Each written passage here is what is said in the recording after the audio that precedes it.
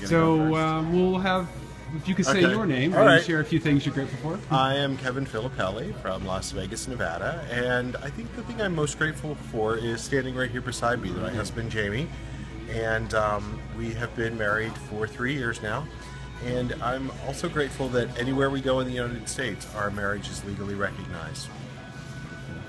All right. And I'm Jamie Filippelli, and we're here at the uh, Gay and Lesbian Center in Las Vegas. And unfortunately, he stole the thing that I was most grateful for because Ah. the thing that I'm most grateful for is my husband and the fact that we are now legally married all across the country, as well as the fact that I am uh, 15 years sober, Beautiful. which is a miracle as far as I'm concerned. And I'm grateful for the center. We've just discovered it recently, and they do a lot of amazing things here. So I'm grateful for that as well.